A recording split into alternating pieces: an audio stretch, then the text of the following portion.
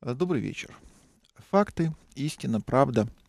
На самом деле, они мало кого интересуют. Важна бумага. Вы знаете, что устройство нашей страны настолько парадоксально, что бумага определяет практически все. Реальные события, действия, люди, поступки, они на втором плане. Страна у нас разваливается, люди погибают, экономика стагнирует. Но на бумаге, если посмотреть, то жизнь живет, свершения совершаются, достижения достигаются. В стране полный порядок. Ну, вот разве что не хватает еще немножечко надавить на население, чтобы все наконец стали платить налоги, и тогда, конечно, с пенсиями у нас будет вопрос решен, потому что, ну, не хватает действительно, как вы слышали из информационного выпуска, а, работникам пенсионного фонда на зарплату. Нужно, чтобы мы были э, более сговорчивыми.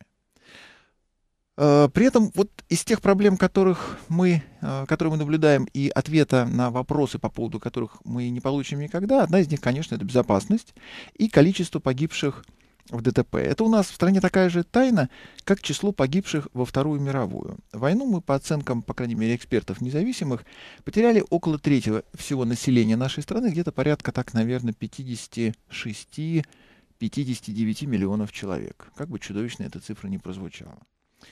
На дорогах нашей страны в ДТП мы ежегодно убиваем, по оценкам независимых экспертов, порядка 100 тысяч человек. Более-менее правдоподобная цифра один раз у нас прорвалась статистику. Журнал «За рулем» опубликовал в самом начале перестройки, вот в порывах, когда только-только возникло ощущение, что все можно, страшную цифру порядка 40 тысяч убитых в ДТП за год. Ну, это и то было, в общем-то, не до конца честной цифрой, но все-таки, знаете ли, показатель был ужасный абсолютно. На будущий год себе никто уже подобного не позволял, в том числе журнал «За рулем». Ну, по крайней мере, один раз мы действительно прикоснулись к истине, хотя и даже в искаженном виде. Но э, парадокс в том, что поскольку живем мы бумажной жизнью, то этих цифр на самом деле нигде нет, ни в каких документах нет, а есть другие. Есть официальные данные, вокруг которых и разворачивается жизнь, мероприятия разворачиваются и, что самое главное, вокруг которых разворачиваются федеральные целевые программы. А, начиная с 2006 года у нас успешно реализуется федеральная целевая программа по улучшению безопасности движения на наших дорогах. Стоит она 40-80 миллиардов рублей. На нее было потрачено столько. И в ее основе лежат лукавые показатели смертности и достаточно неумные варианты их снижения. Программа досрочно была признана успешной. Поставленных целей она не достигла. Смертность в ДТП по-прежнему не зависит ни от какой программы, зато за 48 миллиардов было создано федеральное казенное учреждение. Это вот такой очень наш, очень правильный способ решения проблемы. Э, ну, условно говоря, возникает, э, например, враг на пороге с ножом. Вот э, что делает нормальный человек? Он берет э, молоток и пытается как-то э, противостоять. А что делает наше государство или наше правительство, или в частности ГАИ? Оно сразу точ, резко ставит письменный стол, сажает за письменный стол чиновника, и чиновник пишет, как нужно противостоять бандиту на пороге твоего дома с топором.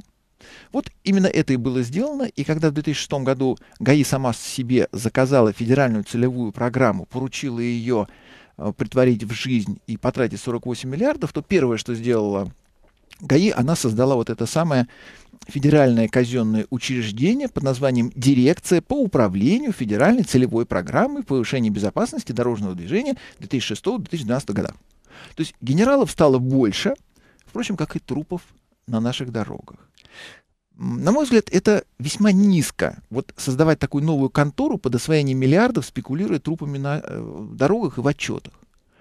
Но ГАИ сама о себе заказала программу, сама ее поручила, сама исполнила. Э, она сама за собой приглядывала, поэтому, конечно, показатели она достигла практически всех, каких хотела. И то, что мы с вами погибаем на дорогах и имеем невыносимые проблемы, не можем без риска для жизни и для кошелька кататься по стране, в бумагах ведь никак не отражено. Там же этих данных абсолютно нет. И поэтому э, задача ГАИ отчитаться о потраченных миллиардах, отписаться наверх, грамотно подать челобитную на рассмотрение и удостоиться государственных наград. Что и произошло.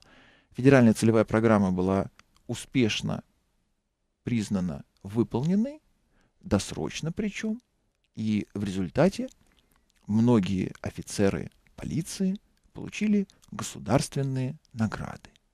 Количество трупов, конечно, это отношение не имело никакого.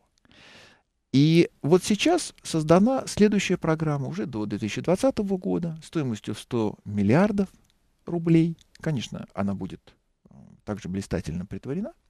Но вдруг откуда ни возьмись, э, ребята из Высшей школы экономики, есть такая у нас школа, и эксперты из правительства взяли, вот никто их гадов не просил. Ну вот никто не просил этих подлых людей лезть не в свое дело, лезть в чужие финансовые потоки.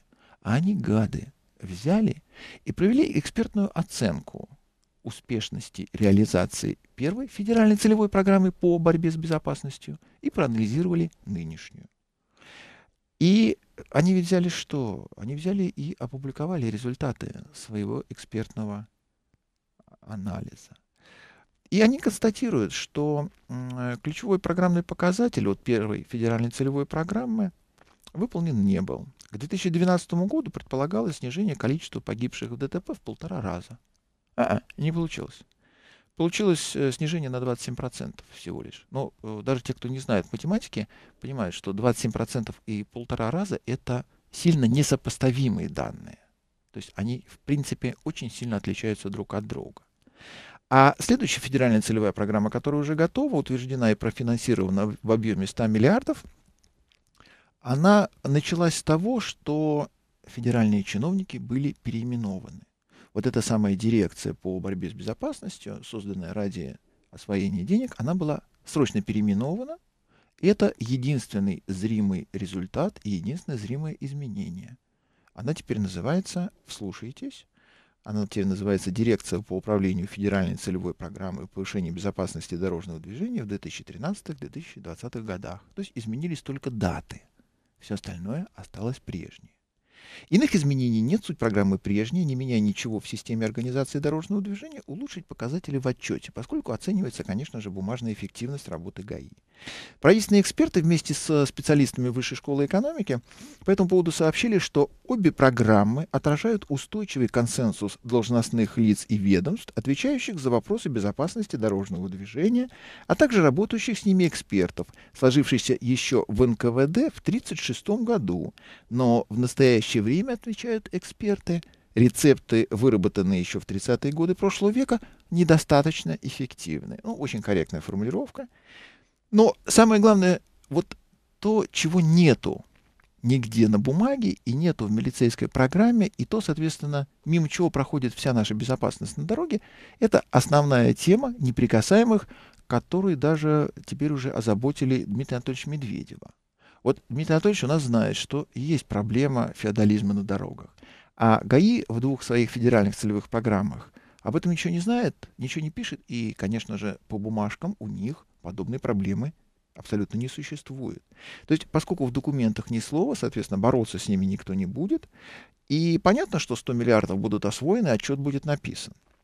Причем, когда эксперты из Высшей школы экономики и правительства то есть это не один человек, это две организации, занимавшиеся экспертизой. Они ведь очень много чего про проанализировали. Они обнаружили отсутствие какого бы то ни было здравого смысла, системного подхода, отсутствие логики. Они обратили внимание в своем докладе, он опубликован, почитайте.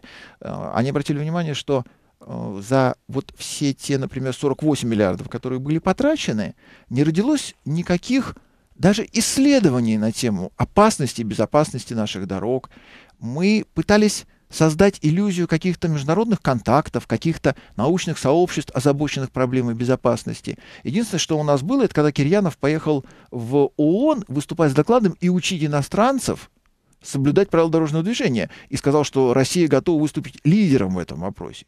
Обалдеть. То есть страна, в которой погибает больше всего народу на дорогах, собралась еще кому-то чего-то такое рассказывать о том, как надо чего-то делать. Видимо, как играть с бумажными отчетами. Вот это было всего остального, осмысленной деятельности, пропаганды, каких бы то ни было действий, связанных с безопасностью дорожного движения, вот этого не было.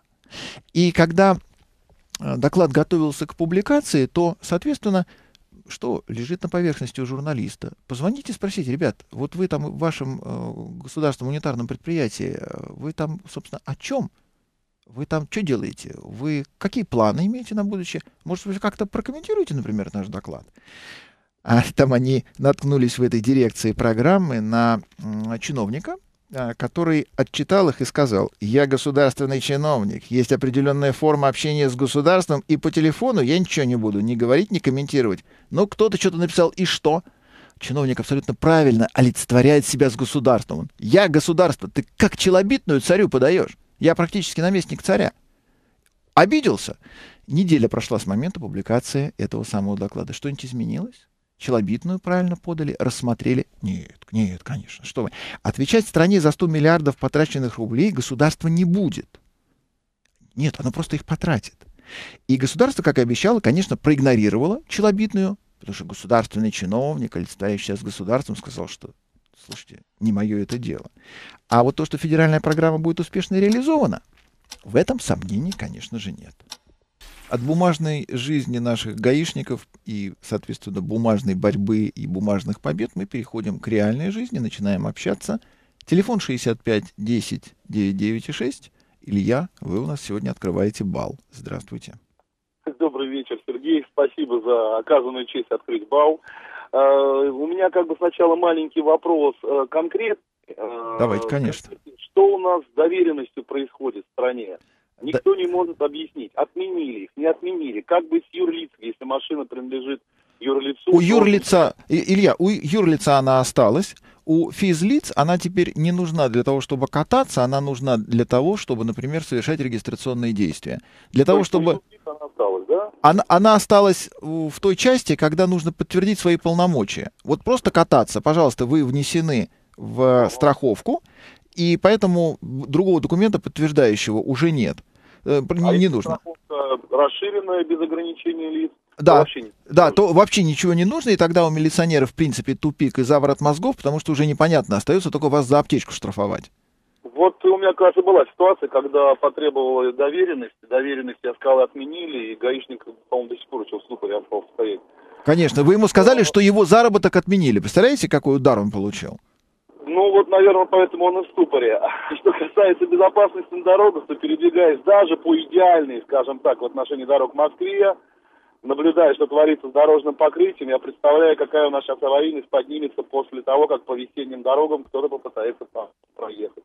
Но у нас у нас специально, Илья, у нас специально для этого есть Росавтодор, который рассказывает, что дороги у нас хорошие, а машины у нас плохие, поэтому нужно запретить движение автомобилей по дорогам, в первую очередь грузовиков, например, по весне, потому что дорогам сыро, летом, потому что дорогам жарко, зимой, потому что дорогам холодно.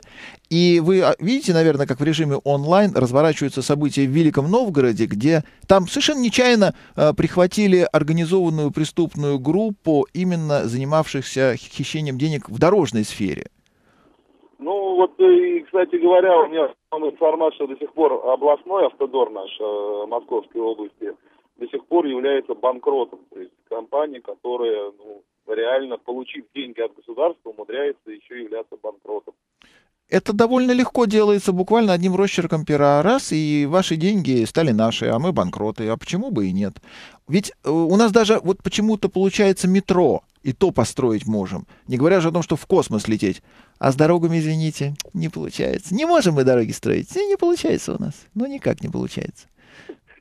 Спасибо за комментарий, Сергей. Удачи вам. Спасибо. Ой, Илья, спасибо. Удачи нам с вами. Александр. Здравствуйте, Александр. Добрый вечер, Сергей. Второй раз дозваниваюсь до вас в течение полугода. Рад этому. Блистательно. А, вы, вы, наверное, просто да. очень удачливый Александр. По жизни. Я, вас, я к вам прислушиваюсь, и поэтому вот звоню по поводу нашей с вами одной из любимых марок «Шкода». Вот э, уже с декабря езжу на «Ете». Вообще стал фанатом этой марки. А, прошу вас немножко футурологом поработать. А, будет ли в линейке Шкоды что-нибудь наподобие Туарега? Будет. Они сейчас как раз работают над этой машиной. У Шкоды сейчас произойдет расширение модельного ряда. У них будет uh-huh. что-то типа минивена. Они uh-huh. не определили еще с типоразмером, потому что не очень понятно, в какую сторону по типажу нужно. И да. у них будет некая машина, вот как раз э, Туарега подобная, при том, ага. что Volkswagen себе сделает супер Туарек, они сделают ну, понятно, машину да. э, на ступеньку выше, чем их Туарек. И угу. вот эта платформа у них станет как раз э, что называется, не эксклюзивной, и спокойно на ней будет сделана Шкода. Причем здесь вот самое интересное, как именно сейчас э, они поступят внутри, внутри концерна. Раньше чехи машину делали сами. Они просто Да. брали немецкие какие-то там гаечные ключи, отвертки, Кульман, соответственно, Ватман и Рисфедер и чертили машинку для себя. Вот Да. судя по тому, что произошло сейчас с новой Октавией, когда ее насильственно упростили и сделали примитивнее, чем Октавия нынешнего поколения, у них идет внутренний каннибализм, и фирма Volkswagen понимает, что Шкода слишком хороша, ее нужно прибить, изничтожить, извести, снивелировать, и тогда, может быть, Volkswagen действительно будет лучше, потому что, ну, как-то хочется, чтобы сияла одна звезда на горизонте. И вот сейчас у них Да, идет да. как раз в том числе внутренняя борьба, а о том, кто победит, мы узнаем по результату. Если победят немцы, значит, это будет примитивная табуретка на одном колесе. Если победят чехи, это будет супермашина, которая окажется лучше, чем Туарек. Ну, будем надеяться. Спасибо тебе. А когда примерно, не знаете? Так вот, А, планы. с, с года на год. Понял. А, Спасибо. а, у них эта платформа уже в работе, но для того, чтобы создать машину, нужно сначала победить немцев. Потом уже все будет легко и просто. Пока, ну вот, есть нюансы. Так, э, продолжаем. Вы обратили внимание, что у нас такая приятная тишина. Теперь э, рефрен э, вот этого музыкального, например, блямса, он закончился. У нас э, нормальный мужской клуб с легкими вкраплениями дам и разговор только об автомобилях, ну также и о нашей жизни. Николай, здравствуйте. Здравствуйте. Николай, говорите. Я хотел бы вам задать вопрос вот по Mazda 3. Я вот сейчас езжу на Mazda 323F корпус BG. Ух ты! Как- Хотелось бы ее поменять на Mazda 3 где-то 2008-2009 года. А сколько ваша-то 323 пробежала? Она какого года? Она у меня 2003-го 284 тысячи. Ой, какая машина. Ой, какой агрегат. А моторчик какой у вас? 1.6 на ручке. Замечательная машина.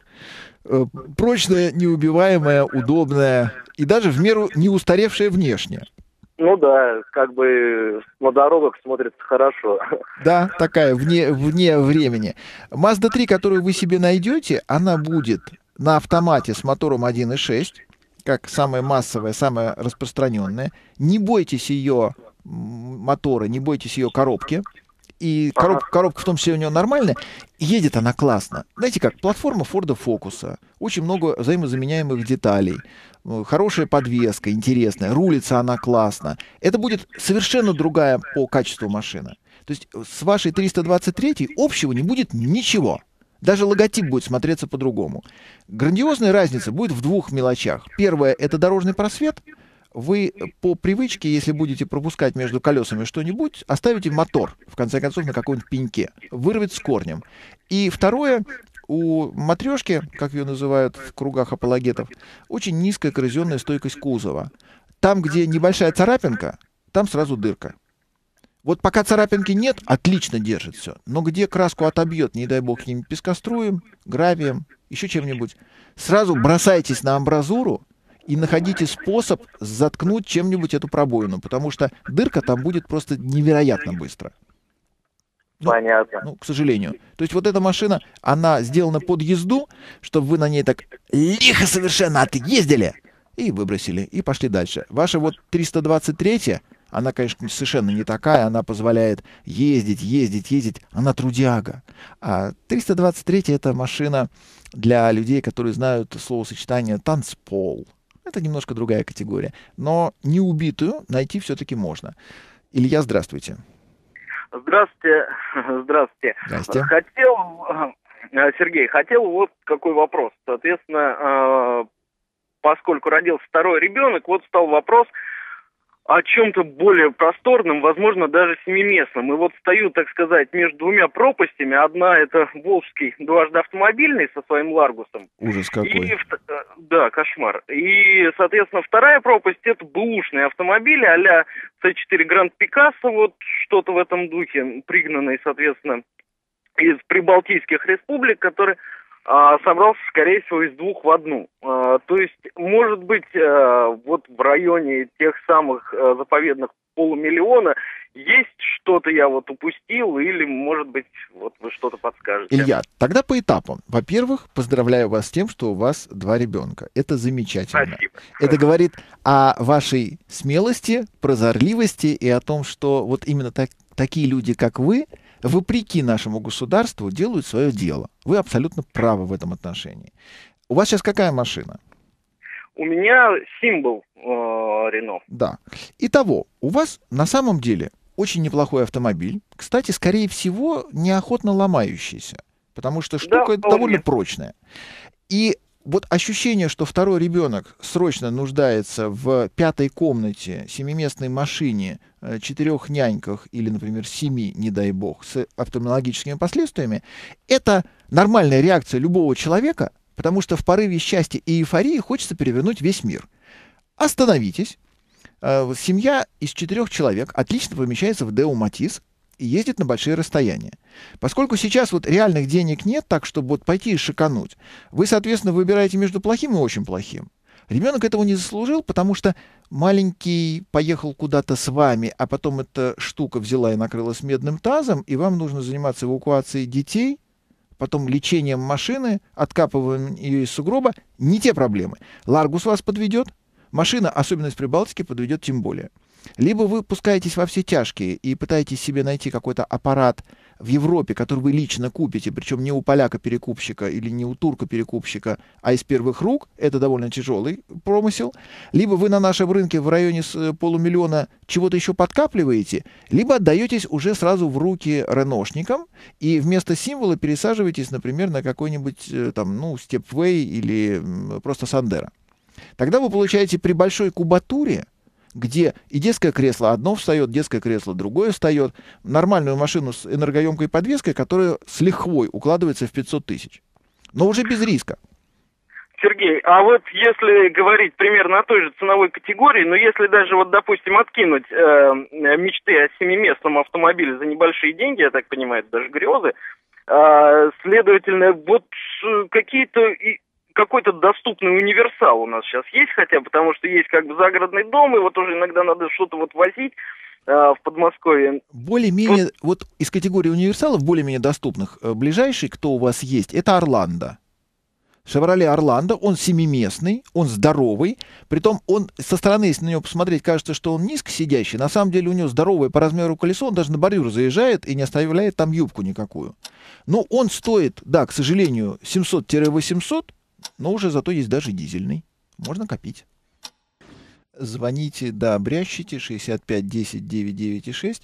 Что-то Олег не звонит. Если помните, вчера был разговор о RAV4, о трансмиссиях. Я готов. Домашнее задание я выполнил. Я даже связался с московским представительством Toyota сегодня с тем, чтобы получить максимальную информацию. Олег, звоните. Если, если не дозвонитесь, я и так все расскажу. У нас Евгений на линии. Здравствуйте, Евгений. Э, Добрый вечер, Сергей Степанович. Ну, опять я- Москва. я Степаныч, а вы Москва. Ну, Евгений. Ну, неправильно. Либо я Сергей, либо вы как по отчеству? Владимирович. Евгений Владимирович, здравствуйте. я еще слишком молодой, поэтому можно не... Не, вот не играет никакой роли. Вот абсолютно. Если я барин, а вы холоп, тогда Евгений, а я Сергей Степанович. Если мы с вами оба приличные люди, возраст не играет никакой роли. Возраст играет роль только в одном случае. Когда решается, кто первым, кому подает руку. Это решение всегда за старшим. Вот старший либо протягивает первым руку, чтобы поздороваться, либо нет. В остальных случаях Евгений. Либо мы оба по отчеству, либо мы оба по имени. Хорошо, давайте по имени. Да, Евгений? А, вопрос такой. Значит, смотрите, летом думаю менять машину свою. У меня сейчас Nissan Primera четвертого года. Выбираю между Mercedes C-классом, BMW трешкой и Audi A4. Все примерно десятого года. Вот Мгм. что лучше взять молодому, так сказать, амбициозному? Скажите, Евгений, а как вам на премьере катается? На премьере замечательно. Досталось мне от отца, то есть брал он ее с салона. Пробег 115, проблем никаких, двигатель идеальный. А сколько, 1.6 или 1.8? А 1.6, Мгм. ручная коробка. Ну да. А как вам камера заднего вида? А, Камера, да, очень многие удивляются, особенно друзья, когда садятся в машину, что в такой машине, в принципе, недорогой, есть камера заднего вида. Я вас слушал, вы говорили, что эта машина попала в историю автомобилестроения. Да. Это не была первая камера. Вот, поэтому даже немножко горд, что удалось покататься на такой, в принципе, очень даже хорошей машине. Там, Ну, кстати, очень хорошо подобраны в коробке передач числа, поэтому 1.6 едет весьма и весьма напористо. Итого, вы пересаживаетесь на машину, две из которых заднеприводные, одна переднеприводная. Да. И, соответственно, летом вы будете королем дороги, и, ну, в общем, где-то, наверное, властелином поворота, а зимой телеграфные столбы начнут заманивать вас в объятия на двух заднеприводных машинах. Потому что uh-huh. это требует совершенно другого и очень специфического навыка, при том, что сколько бы электронных чудес и ошейников на эти машины не вешали, законы физики для заднего привода все равно остаются кардинально другими, чем для переднего. Поэтому вы за лето должны будете освоить навыки контраварийной езды. Нужно будет уметь выстраивать траекторию, э, не пасовать, э, когда вы ошиблись, например, со скоростью вхождения в поворот. То есть вы думали, что будет э, какой-нибудь правый второй, но он оказался правый третий опасный. И вы понимаете, что на доворот руля у вас уже не остается ни сил, ни времени, вам нужно выставлять машину в управляемый занос. Это uh-huh. все нужно, что называется, что называется, предвидеть и знать заранее. Audi A4, э, скорее всего, окажется с мотором TFCI, который жрет масло, и машину продали 2010 года, трехлетку, не потому что она надоела, а потому что она задолбала уже. У этой машины тем более нет возможности самостоятельно определить уровень масла, у нее нет щупа, поэтому в какой-то момент возникает коллизия под названием «Хозяин, я сейчас сдохну, маслица капни, пожалуйста» а уже поздно, потому что оно уже все куда-то делось. Это была особенность двигателя, с ней боролись, боролись и не поборолись. То есть вы входите в тот компромиссный сегмент автомобилей, который просто так не продают. Вот трехлетнюю цешку, ну, трехлетнюю... Да, нет, я сразу, извиняюсь, сразу да. комментарий. У меня есть возможность, так сказать, взять машину из Германии. О, тогда да, значит, берите в таком случае любую, но имейте в виду, что и BMW, и Mercedes, скорее всего, будут зверски оттюнингованы под немцев. То есть у них может оказаться нештатным абсолютно вся подвеска. Снаружи машина та же самая, но плох тот немец, который на Мерседесе или на БМВ не пошаманил что-нибудь именно с подвеской. Там подрезать пружины, поставить, перекалибровать амортизаторы, э, перекалибровать э, саленблоки, э, пошаманить что-нибудь с настройками мотора. И вы покупаете машину, которая является, с одной стороны, волком в овечьей шкуре, а с другой стороны, большой загадкой. Вы ее притащили сюда, и, и выясняется, что даже тормозные колодки к ней не подходят, стандартные. Вот с этим будьте осторожны и попытайтесь заранее определить, было ли вторжение в машину или не было. Осторож... Ну, в любом случае безопаснее брать из Германии, чем у нас. Конечно, конечно. У, на, у нас вы берете машину со скрученным спидометром и с убитыми э, э, там, трансмиссией, двигателем и точно совершенно с какими-то кривыми документами. В Германии все будет проще. Но э, тогда Просто смотрите, что называется визуально, какая из них целее, новее, лучше. Э, хотя в Германии они все будут нашаманенные и сверкающие. Мне лично, вот в э, ваше трио, э, милее треха BMW. Она, мне кажется, более драйверской, более заводной, более интересной. Во-вторых, в ней все-таки есть определенный процент здравого смысла. Вот мерседесовцы, которые Э, культивирует родовую травму из поколения в поколение под названием «Наши владельцы машин всегда без правой руки, поэтому подрулевой рычажок должен быть один левый», вот, например, меня в Мерседесе это изумляет. Я не понимаю, зачем это нужно делать. А в BMW все логичней. BMW с инженерной точки зрения это, конечно, очень высокий уровень. Но э, вот, например, сейчас моторы, которые у них пошли, вот двигатели года, вот поколение там 2,5 литра, оно у нас на ХЗ ставится. Ну, на 30 тысячах, например, в районе первого цилиндра лопнутый коленвал, это в порядке вещей. Это нормально. Или там э, задир э, поршневых колец, или там проворот вкладышей. Высокотехнологичный двигатель. И у немцев это, в принципе, в порядке вещей. Ведь они же борются за э, нюансы весовой культуры. Поэтому, бац, оно сломалось. Ну и да, это тоже возможно. Можете на это напороться. Я бы для себя брал э, трешку BMW, я бы, в принципе, не смотрел на Audi A4, потому что она ни с какого боку не интересная, но только если она будет S4. Вот а, тогда, ну, тогда... Это, конечно, другая ценовая категория. Конечно. Но тогда хоть понятно, зачем нужно брать вот этот вот просто автомобиль. Здесь он уже становится не просто автомобилем. А Мерседес, ну, все-таки под Мерседес, знаете, как, э, к счастью, возраст у вас не тот, э, животик не тот, голдовая цепура не та, ее, в принципе, нету. Ну, да. Э, поэтому, то есть, вот поскольку вы не мордоворот и не бандит, то зачем вам машина бандита и мордоворота? Возьмите себе машину, которая вас позиционирует как знатока управляемости, как человека, который понимает толк в хорошей активной езде. Это как раз BMW. Хорошо, я вас понял. Еще, пожалуйста, да. можно не вопрос? А, вот у меня бюджет 900, BMW 3, либо Golf 7 выходит. Вот меня заинтересовало, что вы скажете по этому поводу Golf 7 новый. Ну, во-первых, Golf 7, он ни в коем случае не стоит этих денег. Во-вторых, Golf 7, как любой другой автомобиль, первый год покупать нельзя. Потому что у него будут детские болезни, у него будет э, куча проблем, его будут менять практически на 30-40, иногда на 50% по номенклатуре запчастей. И вот просто смотрите на него. Из окна э, трешки BMW любоваться этой машиной гораздо приятнее, чем из какого бы то ни было другого окна. Все, я вас понял. Спасибо вам большое. Успехов вам, Евгений. Давайте попробуем. У нас еще есть время, поэтому звонки. Напоминаю, 65 10 99 6. У нас Сергей на линии. Здравствуйте, Сергей. Здравствуйте, Сергей. Тезка. Здрасте, тезка. Дозвонился к вам уже юбилейный третий раз.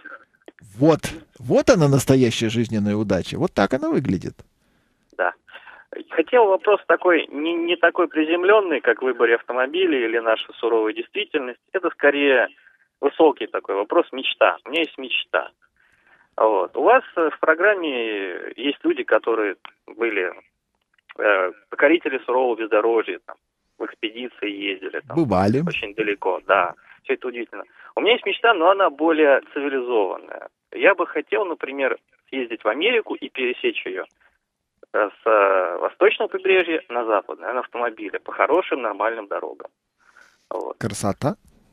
Да, это, конечно, мечта голубая, но если бы действительно произошло, разумнее всего было бы, наверное, взять машину на прокат самой. Даже, даже не одну, а менять машины разные, чтобы поездить на вот. том, на сем, на этом.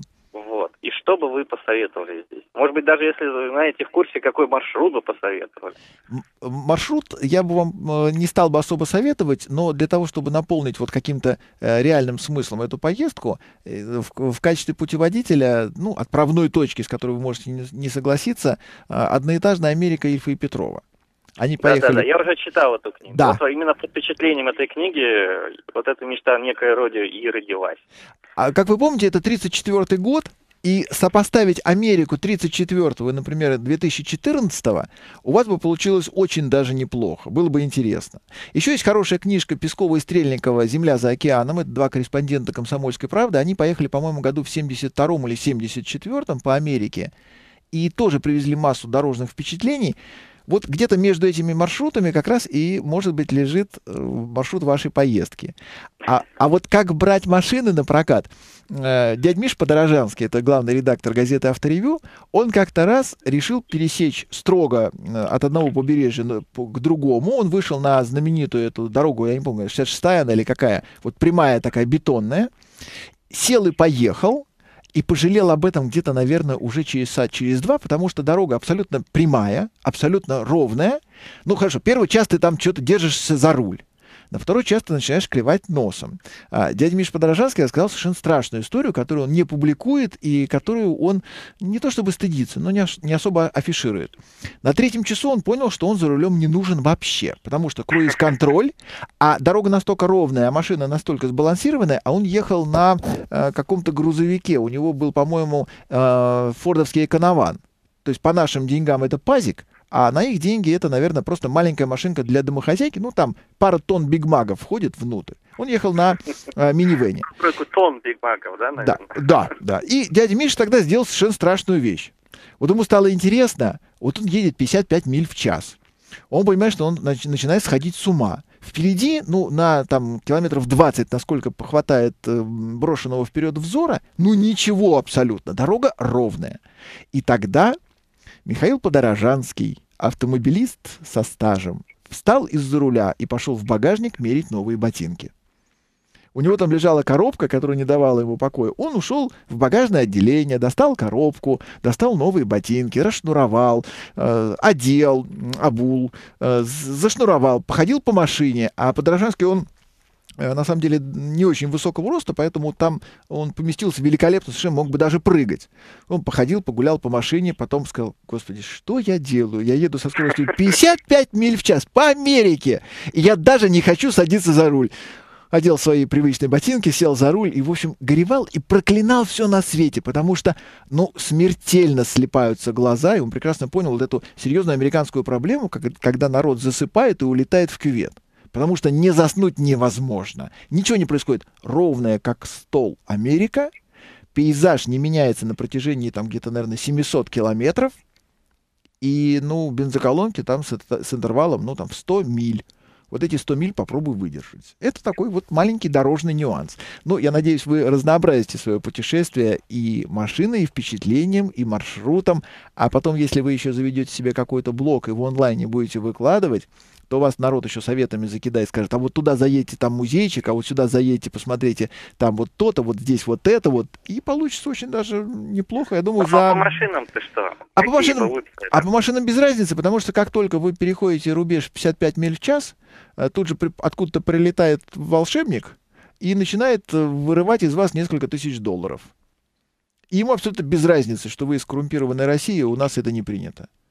Но э, у меня несколько знакомых, вот, например, дядя Саша Пикуленко, он пол Америки проехал на «Шевроле Корвете», а еще пол Америки он проехал на этом самом, э, на гибриде, на Приусе. А, просто потому, что было по приколу, что называется. И что на корвете, ну вот едешь по прямой, и ничего не происходит. Что на Приусе едешь по прямой, и тоже ничего не происходит.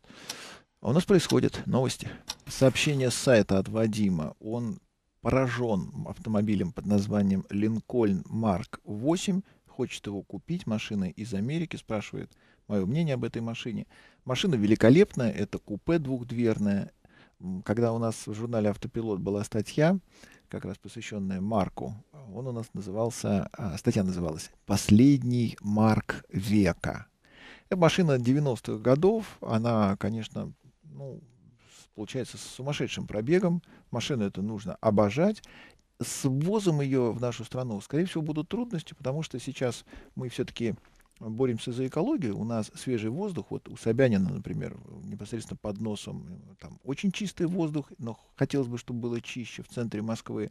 В стране у нас Евро-4 свирепствует, а Марк 8 очень даже может быть, что по документам не дотянет до экологического класса Евро-4, и придется как-то изгиляться, чтобы его либо на бумаге сделать э, уже по четвертому классу, либо как-то этот момент решить. Ну, чем хороша наша таможня, тем, что она э, создает проблемы специально для решения. Поэтому решить, конечно, будет можно. Сам по себе э, Марк 8, он, конечно, и сейчас не устарел, смотрится он ураганно, автомобиль грандиозный, дверей у него всего две, ездить на нем в этой связи сложно, машина на каждый день не подходит, но как гуляльный автомобиль, да еще для человека, преклоняющегося перед американским автопромом, это абсолютно логичная покупка. Она очень эстетская, в ней очень много-много э, эмоций. Еще один вопрос от моего тезки. Ожидается ли новая Вектора? Нет, вот как таковой машины под названием Opel Vectra в ближайшее время не будет. Э, будет все что угодно, но только нету. Но вы же знаете, инсигния у нас есть. У нас на линии Арсений. Здравствуйте, Арсений. Здравствуйте, Сергей. Э, во-первых, хочется поблагодарить вас за сочный язык ваш, слушать вас одно удовольствие. Спасибо вам, Арсений. Вот. А вопрос мой э, состоит в следующем. Сейчас э, рассматриваю вопрос э, покупки Audi э, э, не новый, это трехлетний автомобиль, плюс-минус. Вот. Вот э, хотелось бы услышать ваше мнение. Считаю, что для меня было бы интересно на двигатель 2 литра TFSI. Ну, дальше, собственно, э, по рынку буду смотреть по опциям, по всему. Ну то есть так или иначе найдете неубитый экземпляр, берите, не глядя на то, какой у него мотор. И бензиновые, и дизельные хорошие. Мне очень понравилось в свое время замечательное путешествие великого Алексея Мочулова, оно у него в ЖЖ выложено, когда он на трех Q5 поехал в Забайкалье, причем он взял специально машины с разными двигателями, с тем, чтобы посмотреть, насколько это интересно. Пришел к выводу, что Q5 хорош абсолютно с любым мотором, даже вот с тем стартовым, на который вы целитесь, но причина для продажи подобного автомобиля, скорее всего, его какая-то техническая изюминка под названием «надоело, сломалось, больше не хочу». И вы весьма вероятно нарветесь на что-то такое неприглядное, что от вас скрывают, и игра называется «Кто последний, тот дурак». Но сам по себе аппарат, конечно, замечательно сделан, он кардинально отличается, как это ни странно, от Q3, хотя, казалось бы, из одного и того же получили, но два разных совершенно родственника. И поэтому не бойтесь, даже если вам в руки будет проститься Q5 с каким-нибудь особо заковыристым мотором большого объема, он только от этого выиграет, будет интереснее ездить и, скорее всего, получит даже, наверное, больший ресурс. Ну и, и, собственно, у этой машины есть еще визуальный нюанс. Э, чем больше у нее колеса, тем интереснее она смотрится. Но это вы уже отработаете сами. Это потихонечку приобретете себе резину, которая захочется, которая на душу ляжет. Сам по себе купятый это, в общем, неплохо.